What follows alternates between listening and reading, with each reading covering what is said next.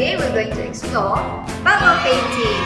We will need a pair of scissors, straws, some colors, some paper cups, dish soap and a drawing block. First, add some dish soap to the paper cup. Then, add some color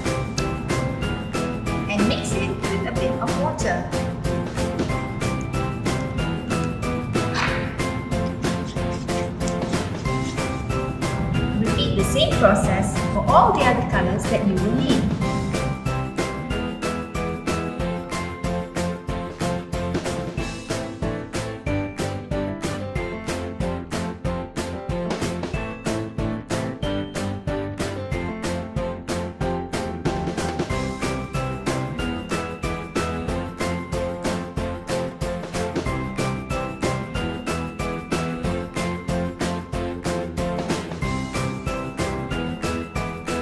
With all the colors here.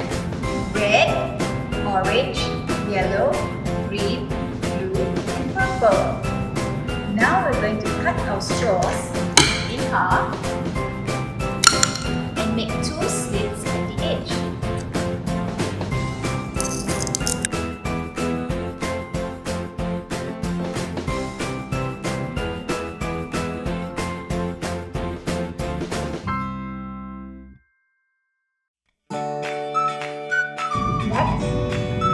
straws into the cups.